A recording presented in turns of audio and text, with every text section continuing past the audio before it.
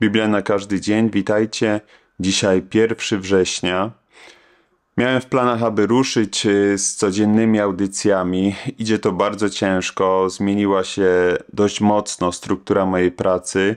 Y, Obsługuję też kilka kanałów i na każdym staram się coś wrzucać. Dobra wiadomość jest taka, że mimo tych wszystkich kłopotów moich z czasem, to chcę wznowić, chcę dokończyć Ewangelię według świętego Jana w tym rytmie, który mieliśmy wcześniej, czyli codziennie rano o 7.30 rano, krótki fragment z krótkim omówieniem. Rozpocznę to wznowienie od 5 września, mm, czyli od najbliższego poniedziałku. Będę starał się iść tym samym rytmem, czyli od poniedziałku do piątku publikujemy krótkie filmy z krótkimi rozważaniami biblijnymi. W weekend będzie zbiorcza audycja dla tych, którzy nie słuchali w tygodniu, albo dla tych, którzy chcieliby sobie to przypomnieć.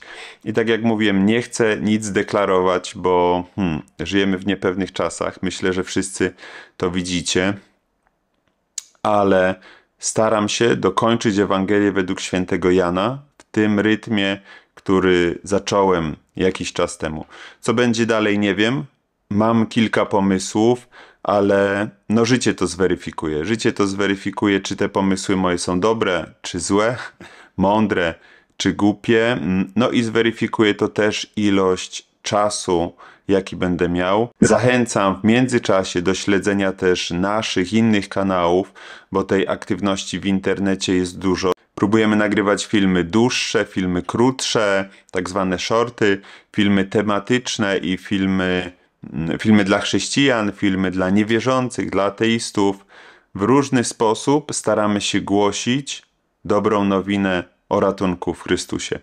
Dziękuję za wyrozumiałość i jeżeli będziecie chętni, zapraszam od poniedziałku. Spróbujmy.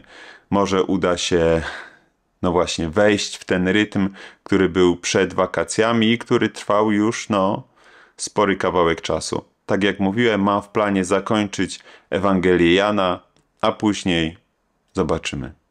Dziękuję. Do usłyszenia z Bogiem.